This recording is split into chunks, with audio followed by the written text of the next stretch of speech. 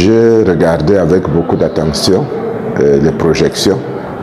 Et pour moi, c'est assez innovant parce que euh, en tant que producteur de bananes plantains à l'Est Cameroun, euh, nous, on avait tendance, par exemple, à laisser les rejets autour en se disant que c'est ça qui va être des remplaçants. Mais aujourd'hui, nous comprenons que ça joue plutôt sur la production.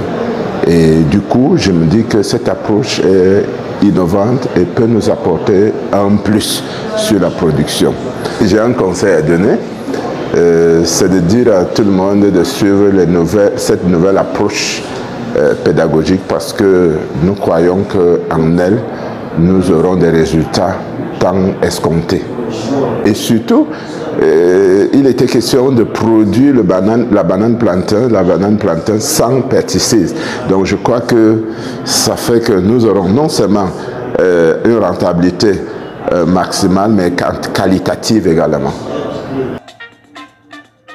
Les réserves, j'ai dit, j'aurais souhaité hein, qu'il y ait des champs expérimentaux, par exemple on fait et on voit les résultats parce que nous, on se dit toujours qu'il faut toujours que le rejet reste. Quand on laisse un seul, bon, nous voulons bien voir. Donc nous allons essayer, mais cependant, nous avons quand même euh, des réserves quant à cette nouvelle approche, cette nouvelle technique. Parce que vous savez, ceux qui font déjà sur le terrain ont souvent du mal à intégrer les nouvelles concepts, les nouvelles techniques.